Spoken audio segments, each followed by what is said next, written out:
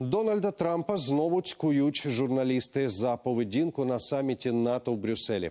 Під час екскурсії новою штаб-квартиру альянсу Трамп грубо відштовхнув прем'єр-міністра Чорногорії Душку Марковича. У Білому домі заступилися за президента. Сказали, мовляв, за регламентом Трамп мав іти поруч із генсеком НАТО Єнсом Столтенбергом. Сам прем'єр Чорногорії сказав на цей жест, не звернув уваги. Побачив відео зранку у соціальних мережах. Інший курйозний епізод трапився з Трампом під час прийому короля Бельгії Філіпа. Броньоване авто президента не пройшло скрізь вузькі ворота палацу. Тому Трампу та його дружині Меланії довелося йти пішки.